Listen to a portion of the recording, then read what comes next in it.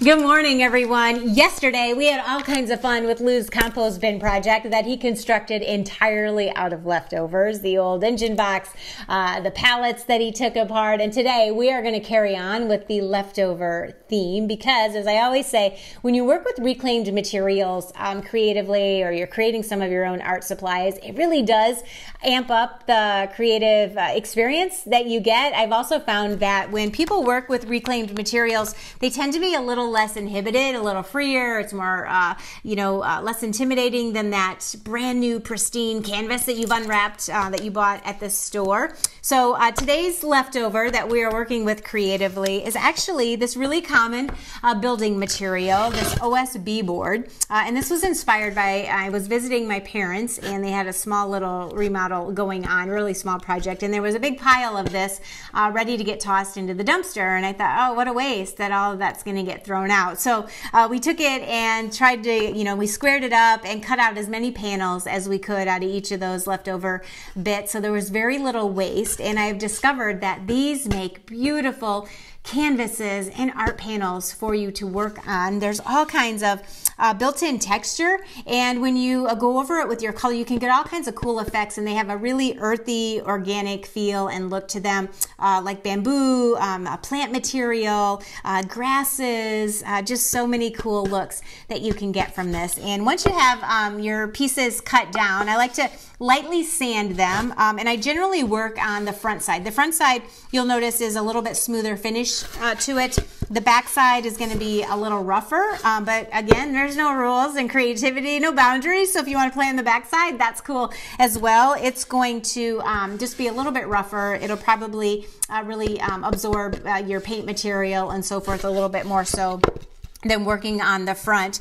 But uh, I've also um, discovered that uh, putting things lightly, you know, your different coats of paint, uh, your stains, whatever you're going to be working with um, uh, on these, that uh, use, you know, light coats and put it on thinly and then you can build it up. If you apply your uh, mediums too heavily, that's going to get all caught up in those um, recessed areas and you're going to lose some of that interest with the um, texture and all of that that's built in. So I'll just take, um, if I'm working working with, you know, just uh, some leftover paints. Uh, again, this is a really great canvas that you can do all kinds of different mediums on. So uh, use, you know, work with what you have. If you have some leftover house paint, uh, play around with that. But I'll brush my paint on lightly. And then I have lots of rags on hand usually when I'm painting on these. And then I'll wipe that away. And you can see the difference. If I just brushed my paints on and let it dry, you're gonna lose some of that interest with um, the texture of the strands and so forth. So just put your coats on um, thinly. You can keep building that up. And then I like to come over the top of this with a contrasting color. That's gonna um, even bring to life more of that texture with the different um, strands that are in there. I've got um, one here, this is uh, a lighter color, and then you can go over the top of it with this stained wax is really nice. You can get it in different um, shades and I will just lightly put some of that, oops, not so lightly there, on there.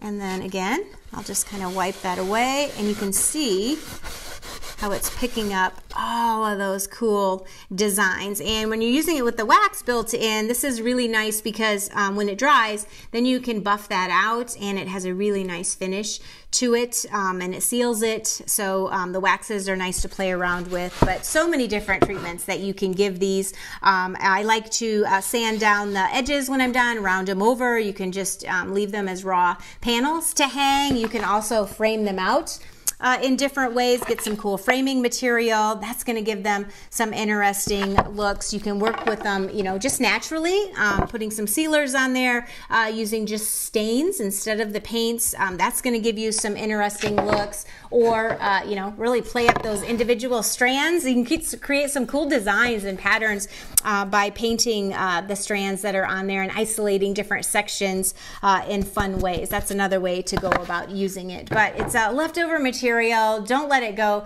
to waste. Cut them down into these beautiful panels and get to work on them creatively. I think you too will have as much fun playing around with these as we do. All right. Always a lot of fun. Always uh, more stuff that you can find too, Such Jackie. creative ideas. Yeah, if you ever want to learn more about kind of what we do beyond our program and some interests we have, especially with Michele and everything she does creatively, uh, text the word live to 515 457 1026 and you'll be sent a link where you can go beyond.